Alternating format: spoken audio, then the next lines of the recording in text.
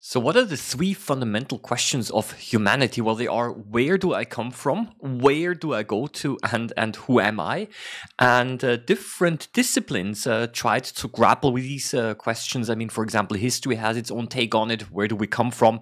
Um, religion tries to cover all three aspects, and also science uh, has uh, invested quite a bit of time in trying to figure out um, who am I actually? What is the stuff and the material that I am actually made of? So you see that science has its um, more materialistic approach to that. And uh, back in the day, a few hundred years ago, um, people thought, well, living things are different from the non living things uh, because of a so called a vital force. Uh, this concept is called vitalism. There's only one problem with that, and that is, is um, yeah, how do you actually measure this vital force? Um, what units do you use? What measurement device? So, this concept of a vitalism and this vital force is really not scientifically um, accessible, right? Um, even if such a vital force were to exist, I mean, what is it? Yeah, too vaguely defined, scientifically not um, accessible. So back in the day in the 1800s, um, it was a big revolution when scientists all of a sudden found out, well, all living things are made of cells.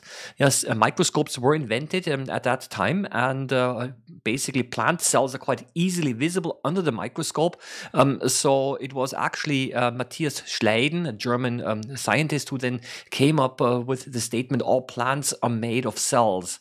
Yeah, a little bit later, also Theodor Schwann, another researcher, he came up with the idea, well, all animals are made of cells, and together they, together with other people as well, um, came up with a cell theory which uh, proposed that all living things are made of cells.